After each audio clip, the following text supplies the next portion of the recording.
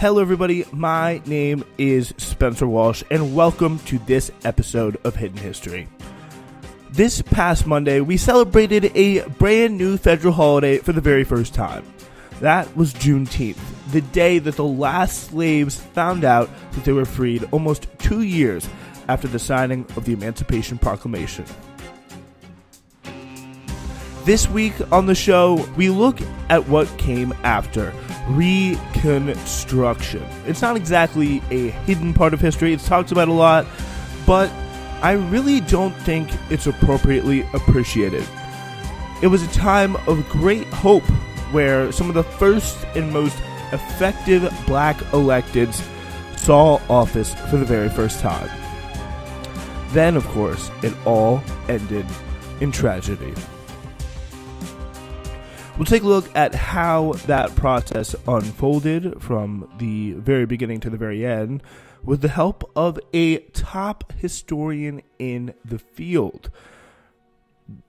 That historian is Heather Cox Richardson, and today we will be borrowing pretty heavily from her piece, Killing Reconstruction, to really kind of get into some of the most devastating parts of that story that really was quite, you know, influential, really a hinge point in our history and so much about our domestic history, our race relations, our class structure, you know, just the so many institutions that grew out of it will really still continue to haunt us today in a way that, you know, also I don't think is too well discussed or discussed nearly enough. Um, yeah, so the slaughter of hundreds of thousands on the battlefield did not simply end slavery in America. It also created a new kind of national government designed to promote economic opportunity for everyone. So this came, you know, we all kind of know the story. It was the end of the Civil War. You know, a really harsh F- desire um, from people in the North they really kind of struggled to fight and fund a war that was unthinkable at the time for Americans. It really was a total war. It was a war that obviously, you know, you heard the tropes pitted brother against brother, all that stuff. And there really was an effort to say, okay, now 100 years after the founding of the country, we can really try and push to make our founding words true. Um, between 1860 and 70, it seemed a second American Revolution finally aligned the Constitution with the promise of the Declaration of Independence that all men were created equal and it did not last. A year after ratification of the 15th Amendment, people were already beginning to sour on the idea of a truly popular government. And it really seemed to come from some of the chaos that we were seeing early on in the South at that time, uh, where, you know, there was a crazy idea of black men running. Uh, you know, states like South Carolina, where they were ruining it and making it, um, you know, the, quote, the interference of ignorant labor with politics is dangerous to society. Um, so that was some of the quotes at the time. Um, and this was even in the North, um, you know, where workers were kind of continuing to rise, emboldened by some of the uh, rights that were given and the, the revolutionary spirit that was in the air at the time. They concluded that not everyone really should have a say in government. Um, in 1875, the Supreme Court suggested and concluded that citizens could be denied voting rights so long as the discrimination was not based around race. The next year, Reconstruction was over, and white voters took back the South. The usual story, uh, you know, really heaps some of the failure on some Southern whites, helped by Andrew Johnson, and the counter revolution that he led, that this piece here by Heather Cox Richardson we'll get into. But the Confederates did not control national politics, and really, you got to look at the people who did. those were the Northerners. Um, while we obviously will talk about the South and the way the South interspersed with the North, Heather Cox Richardson throughout this piece really does a very interesting job of highlighting and making clear to all that this was a project that failed because the North, which were by far the dominant power at the time, the South had been just decimated. A good chunk of the war had taken place in the South, and obviously the South had been the losing side. So what happened then?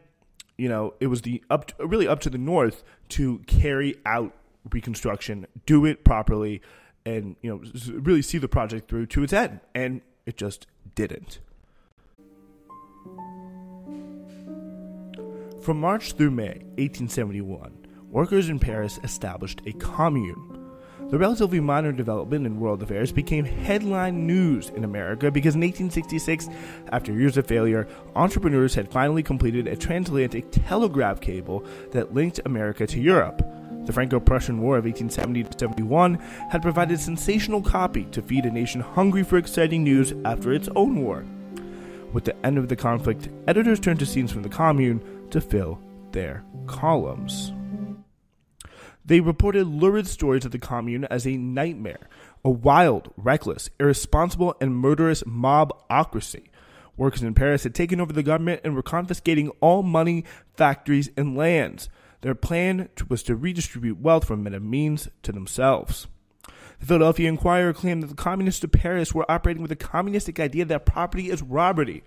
In, resp- in really in that, they were echoing the International Working Men's Association, which the Boston Evening Transcript warned was made up of agrarians, levelers, revolutionaries, inciters or anarchy, and promoters of indiscriminate pillage and murder. So, you know, to put it one way, the elites of the time, especially the northern elites that really did control the newspapers at this time, were pretty hell bent on making sure that the people back home, the people in America who had just been decimated both in the North and the South by the Civil War, didn't get any funny ideas.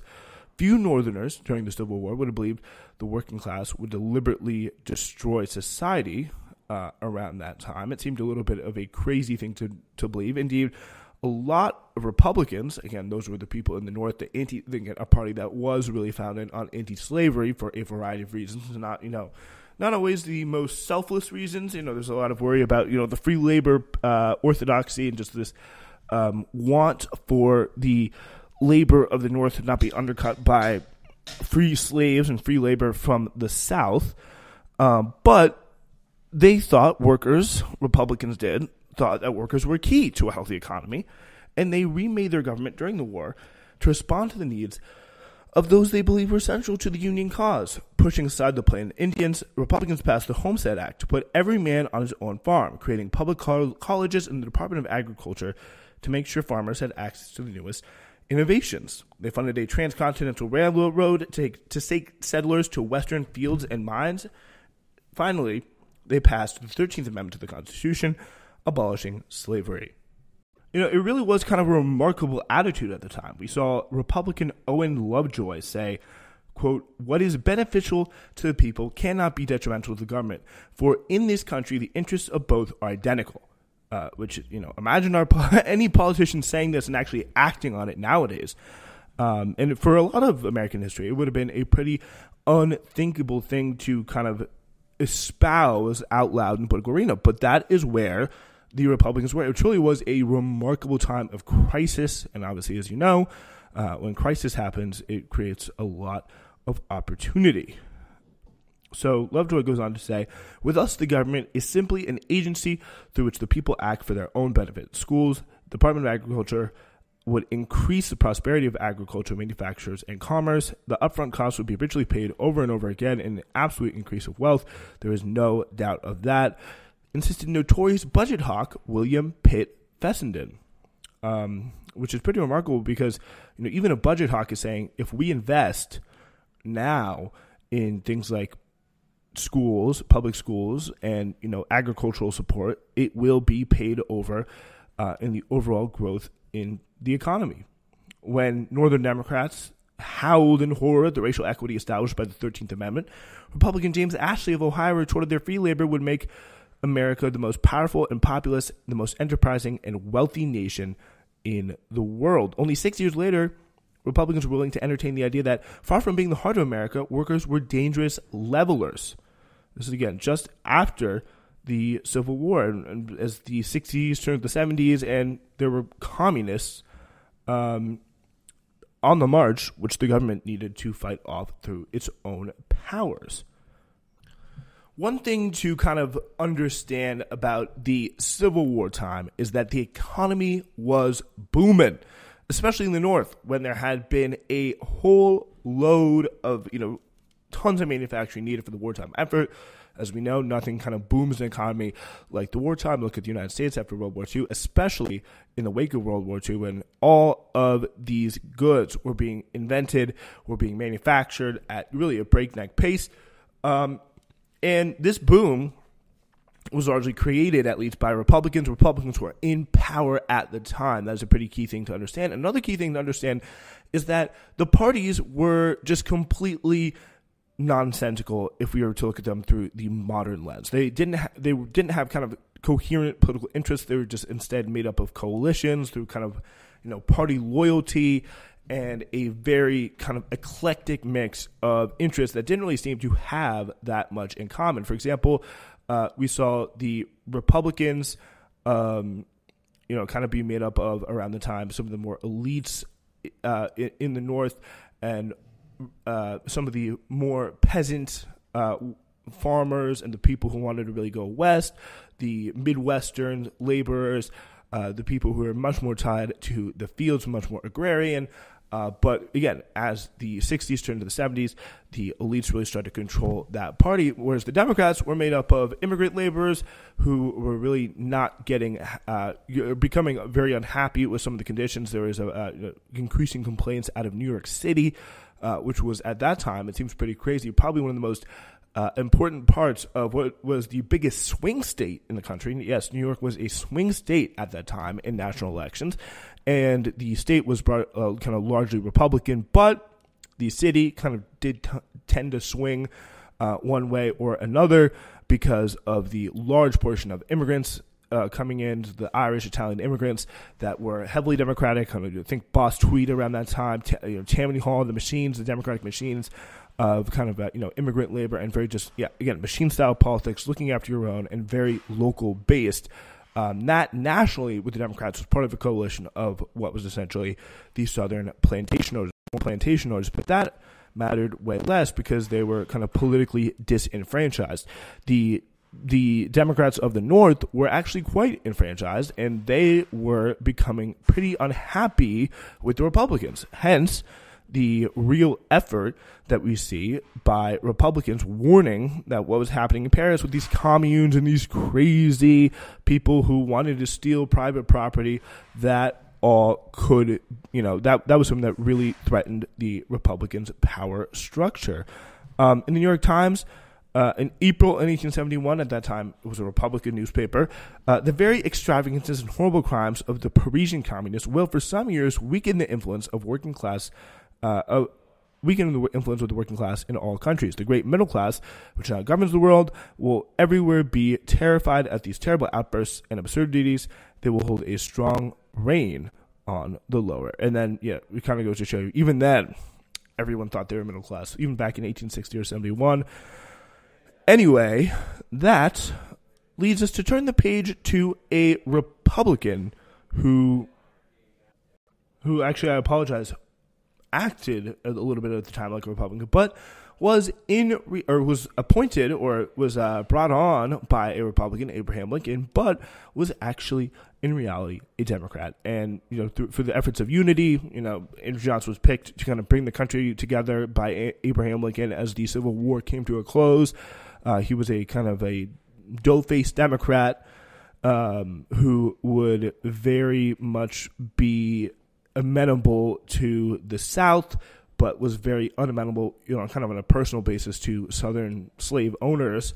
Uh, he was brought on as a kind of look, you know, I can play both sides. I can bring the country together. I'm a unifier. That's what Abraham Lincoln took as his pitch towards the electorate in the 1864 election, won, um, and appointed one Andrew Johnson as his vice president. Andrew Johnson, a Tennessee Democrat, who, by the way, was stone cold drunk. Drunk as a skunk, as they say, at his inauguration. Had to kind of be helped off by the, uh, some senators and just kind of viewed as uh, a disgrace uh, to the office. A few months later, he'd be the president. Excuse me, that would be Lincoln's second inaugural. He was at, uh, drunk at. He was the vice president. He was being inaugurated as the vice president at the time. After this, we'll find out what exactly Johnson did to reform the country in the wake of a tragic death and the need to rebuild. Thank you so much for listening to this episode of Hidden History. Before we continue, a quick and very important announcement.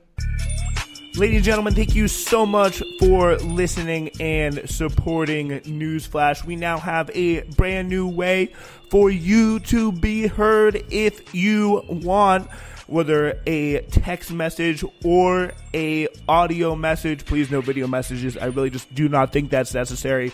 We have a new feedback box open for you.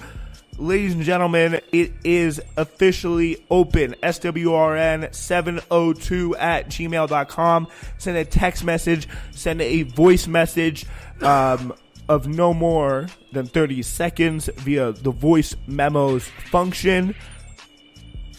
Either of those two options, and we will 100%, 100%, not going to find this guarantee anywhere else we're going to play it on the show, listen to what you have to say, and it literally could be about anything. Well, if it's inappropriate, we won't play it, but it could be about anything. Thank you so much. This is my thank you to all the listeners who have stuck out with us and want to have their own voice in the show. SWRN 702 at gmail.com is the address. All right, so I want to bring your attention to directly after the war and the South essentially is pissed. They are passing, they got all their governments back up as soon as they can. They try and pass what became black codes, which is a series of laws that would essentially just make black people in the South de facto slaves. Um, you know, really awful things like, for example, in Mississippi, uh, you see black children get apprenticed to their you know, obviously white masters. Black men could be arrested, fined, and then hired out to anyone who paid their fines. Most states sentenced vagrants to forced labor and punishment for breaking laws with a lash, chain gang, or a fine that required a person to work for a man who paid it. And again, key here is nowhere could a black person testify against a white person. Republicans were not cool with this at all. They wanted to, you know, reward unionists, even in the South, who had been loyal to them and really helped them win, especially if they were African American at the time. Um, and they sensibly refused to seat any of the newly elected Southern congressmen who were obviously uh, white Republicans, or sorry, white Democrats. Um, so this comes as the period, just directly kind of again after the period of the war, where their Congress is still kind of trying to get its act together. They're still trying to chart out a path for congressional reconstruction. Um, this included some of the ideas that were kind of coming out of this at the time in 1866, expanding the Freedmen's Bureau to try and get uh, some of the black, eh, actually poor uh, black and white Southerners who had really also been decimated by the war. Uh, you know, black people obviously were decimated for hundreds of hundreds of years, but you know, white people pretty decimated by the war, and you know, using a, uh, kind of victims of a lot of, kind of racial solidarity to not realize the fact that they were way closer to the slave owners than the slave master, or sorry, uh, the uh, slaves and the slave masters. Um, so they were both kind of helped by the Freedmen's Bureau to try and get the education and the land that they lacked. Um, they were not very happy at all with this. Some of the Democratic elites of the area, the former plantation owners and slave owners. Congress also provided for federal courts in which African Americans could testify and sit on juries. Uh, but was all vetoed by Andrew Johnson. In his veto messages, the president tied racism to fears of a dangerous underclass and hatred of new federal taxes the Republicans had created during the war to raise funds for, you know, this pretty amazing economic boom of manufacturing that we have seen. Um, Johnson really amazingly kind of paved the way uh, for this racist dislike and disdain of quote unquote big government because the government has expanded massively throughout the course of the Civil War to, you know, expand to literally fight the war. Um, Johnson enlisted traditional Southern racism to attack the argument that governor, the government could help the poor men rise. Ignoring the benefits for white Southerners, he claimed the measures would simply give a handout to lazy blacks paid for by hard-working white men and a lot of those again hardworking white men would also be benefited by the same programs, um, as well as the blacks who had really, frankly, needed it a fair bit more. Um, he said that the authority to give people houses and education was beyond the scope of the government, and that Congress had essentially no right to do what he uh, or what it was trying to do. Um, since the government had acquired the treaty by land and distributed the Homestead Act on, and the Land Grant College Act, um, you know, and distributed this out, um, Johnson essentially was able to kind of create the fear that the government, you know, which, you know, the wealthier Democrats kind of knew this was aimed at them, and kind of poorer citizens of the South were kind of swept up in this rhetoric as well. Why should the government help out freedmen, freed blacks, when they had never helped out any freed whites? They're just giving yeah, any government handouts, not really doing anything remarkable. I guess the quote was, um, "Why?" Uh, kind of in a rhetorical question, he asked, "Should the government provide homes for ex-slaves when it never done so for white men?" Uh, and creating this fear of a dangerous, kind of educated, landed, black class, which was really designed to scare the pants off of not only the Democratic Southern elites, but a lot of the Democratic poor or the Southern poor, white poor, even though it would a lot of the Freedmen's Bureau programs were aimed at them as well. Up next, how the Democrats over time sifted away from outright racism and used class warfare to achieve their same racist aims down south. As Reconstruction through Jackson, or sorry, through Johnson came under attack throughout the latter half of the 1860s, it was also under attack in the South. As Republicans began to kind of fearmonger about Northern workers in 1871, Southern Democrats really kind of got smart. Essentially, as blacks were allowed to vote, the 15th Amendment establishing black male suffrage in 1870 um, South Carolina was kind of the perfect case study for a lot of fears that w- black slaves essentially would come in and use their power of literally just voting to steal all the money, steal all the property from the wealthy whites in kind of a real, not only racial, but class fear as well the Southerners playing off of these kind of scary reports from Republicans up north of these poor people getting power, being able to vote. And they had always said that poor people being able to vote, whether they're black or white, would destroy society because they had to kind of be kept down, they had to be controlled. They formed society, they pro- provided the foundation for society and all that society did. But in the words of these folks, in kind of an idea that really goes back to the creation of the Constitution. See Alexander Hamilton's remarks about the people, calling them a great beast, that they need to be kept down, controlled, and very, very carefully monitored because then they could really disrupt the natural order of things because of, in the elite's view, their lack of intellect to the eyes of these men, especially in the South, they carried on what really was the view of the founding fathers that because they had all this property, because they had all this wealth and virtue, they must be pretty good. And because they were pretty good, they must be able to run the country. And they must be the only people that can run the country, most importantly. The North and the virtuous elites of the North had sacrificed their control and thus their control and you know existence of their society by letting those poor people vote, letting the foundation be upset, and letting the harmony, in their view, be destroyed. They're cre- committing, in the eyes of the South, a grave mistake. This was essentially the logic that later found purchase in the Civil War revisionist school of history called the Dunning School, and essentially went like this. When Republicans guaranteed the suffrage to black men, they enabled Democrats to recall the planters' argument that letting the riffraff vote would force this redistribution of wealth. Republican voters would, or oh, sorry, politicians would be courting black voters by promising, you know, blacks to actually have a job and a place and a position in society. Then they would try and get out of the low playing field work, but they would not be there to do the production and make the, you know, raw goods and materials and economic activity that the South desperately needed. They would instead just quote unquote clog up the government. Uh, a Democratic newspaper in New York claiming there would soon be Negro governors, Negro mayors of cities, and Negro occupants of every grade of office, state and municipal.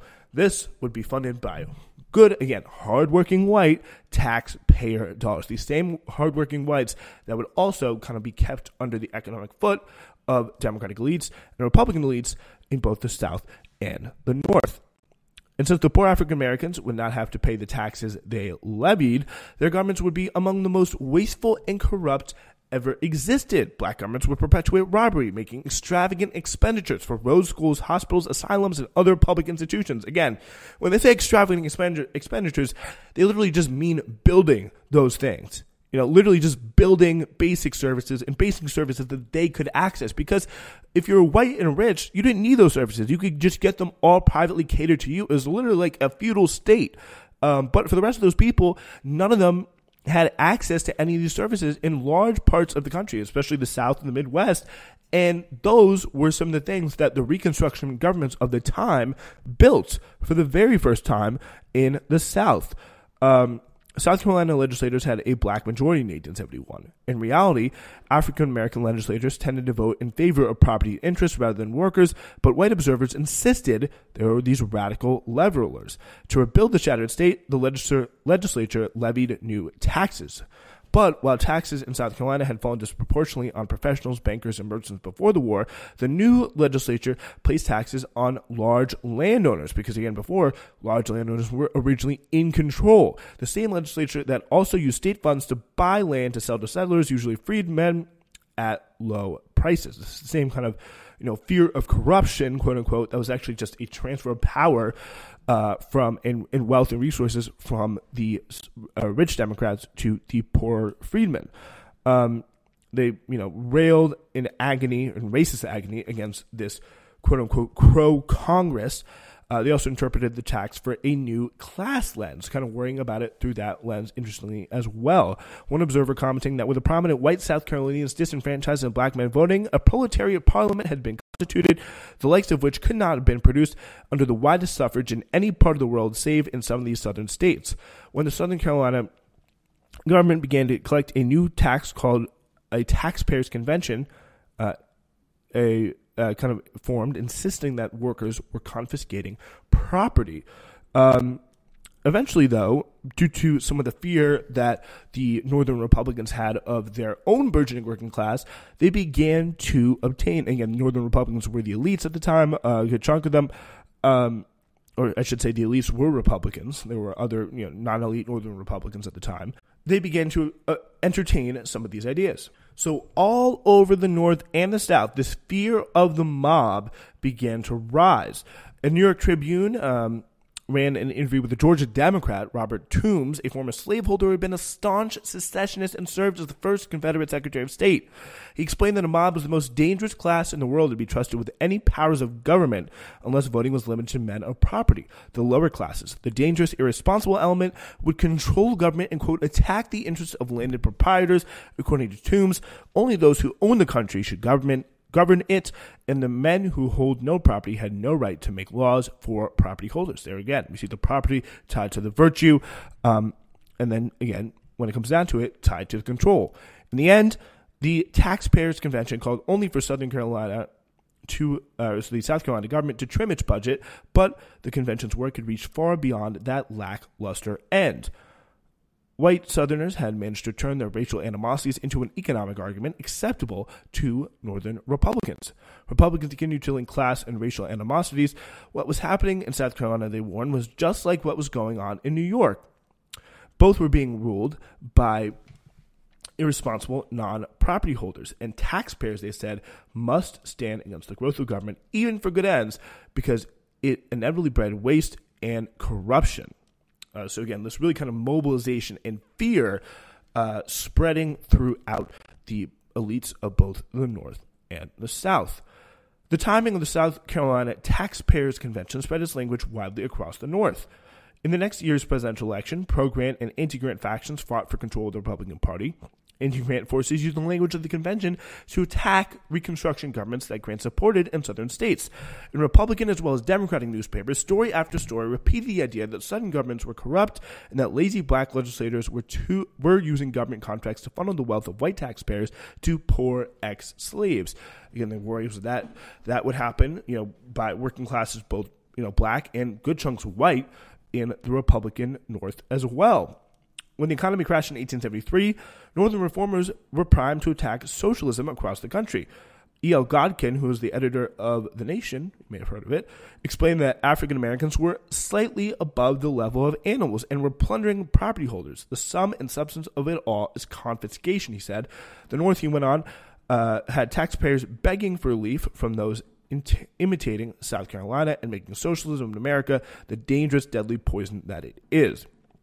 It's not taxation people oppose, an author wrote in the Scribner's Monthly, but rather an unjust, tyrannical, arbitrary, overwhelming taxation producing revenues which never get any further than the already burst, bursting pockets of knaves and dupes, which I think you can read pretty safely there, black people and really poor people in general, but you know, by and large, uh, newly freed slaves. In 1875, the Supreme Court offered um, a way to guard America from this creeping socialism. In Minor versus Happersett, it ruled the citizenship did not necessarily guarantee voting rights. This opened the door for restrictions based on qualifications other than race, which was prohibited under the 15th Amendment. In election of 1816, or sorry, 1876, whites took back the South. In 1880, the former Confederacy would vote solidly Democratic. By 1890, the trend in America was to keep the vote away from workers, immigrants, and people of color, even as white middle class women won it at the state level.